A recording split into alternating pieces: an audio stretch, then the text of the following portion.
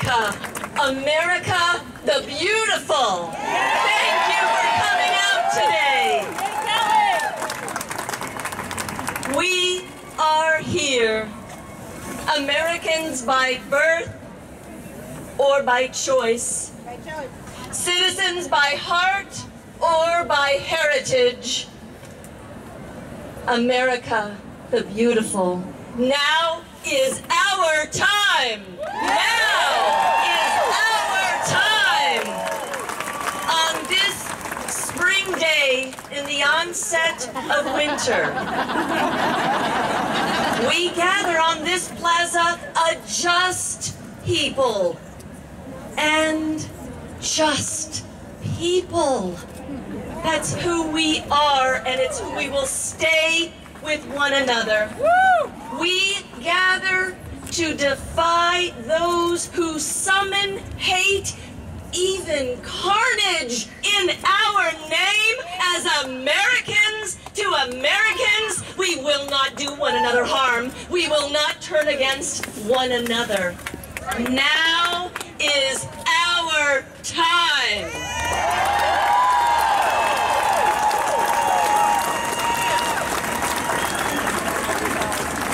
We gather to face days of danger ahead together.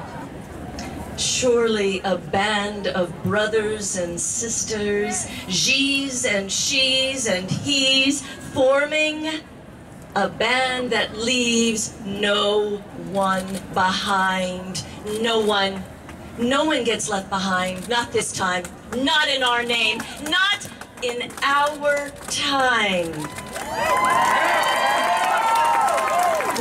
We choose one another. We choose to have each other's backs.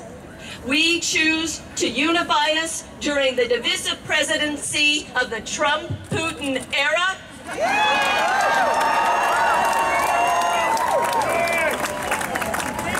That said, as the daughter of a master sergeant who served in Korea and Vietnam, the brother of a Top Gun fighter pilot from the Marine Corps, and then the Navy, and the other brother in the enlisted Army, and a mother who was a nurse in the Air Force, Putin is not my president!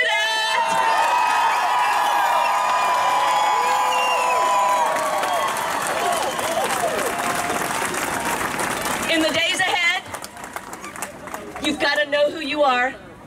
You've got to know who you are.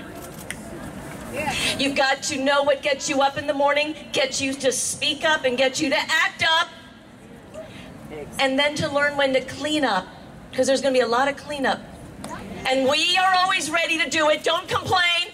Boy, are there enough complainers these days. Don't complain when it comes time to clean up.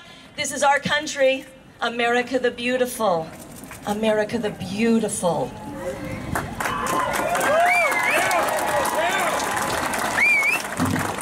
The three things that will get me up as your state representative from this beautiful city right here is fairness in how we love, who we love, how we pray, when we pray, and if we protest.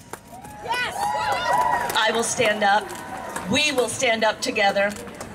I will stand up for family planning for women and men.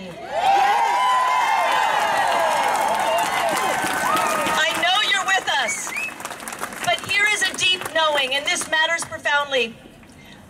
What is at stake here is not that we're pro life or pro choice. That's the wrong frame. That's a frame of a past era. Here's the frame that matters. We are moral beings. We have the capability of making moral decisions. I will make mine as a woman. You make yours as a man. And we own it together. That is how we move forward.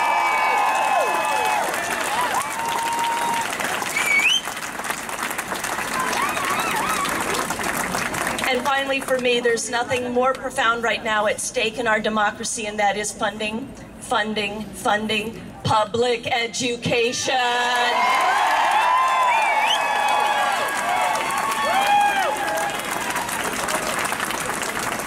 As I wrap up, for the remarkable speakers that come next, I want to speak personally to Kentucky women for a moment and ask all of the brothers and the uh, sisters to just hold with me as I speak directly to Kentucky women. We have a unique task ahead of us, and that is to look behind the curtain of the distraction. And who is there? It's Mitch McConnell.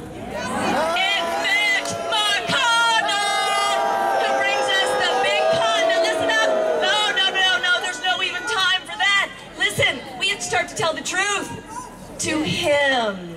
Just to him, because he is there and can actually just say no for the right reasons. He needs to just say no to cutting the American Health Care Act for one key reason in my mind, for so many reasons, but one key one, Kentucky women, in the job growth that's happened in this state, in the new growth, it's been in healthcare and administrative support services. Around that 80% of those jobs are our jobs. And they're just going after them first thing. Kentucky women, we've got to fight for our jobs, and we need all of us helping to make it happen. And Mitch, just say no to cutting our jobs.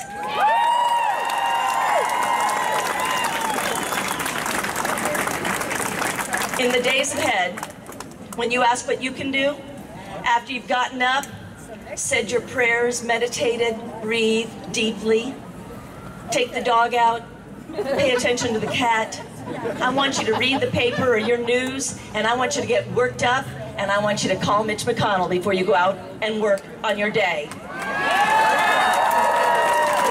We Americans gathered here today know our moral authority, claim human dignity for each and every one of us, no one left behind again. Know the truth when we hear it or track it down if we don't, because the truth makes us not be afraid. Yes. That's why we're going after it. And may we model the beauty that we want to see in this good, great state that is Kentucky, home that we love. When I look out there today, I don't see American car